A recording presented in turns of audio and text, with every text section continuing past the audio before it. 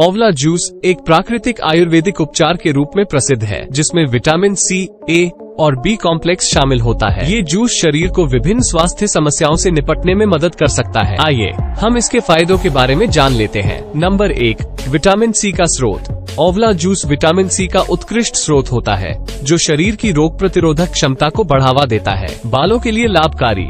ओवला juice बालों के लिए फ़ायदेमंद होता है और उन्हें मजबूती और चमक देता है। चर्बी की कमी।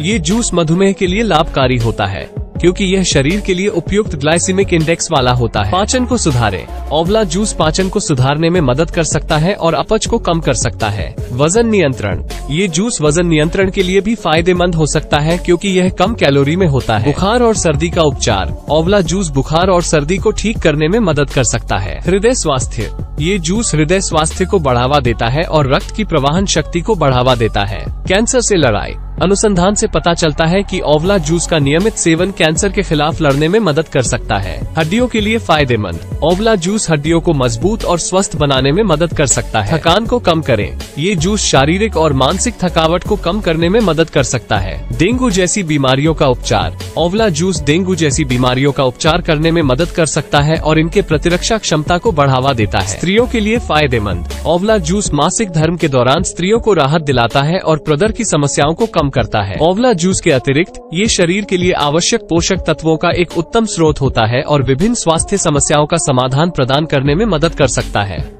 ये जानकारी आपको कैसी लगी कमेंट करके ज़रूर बताएँ।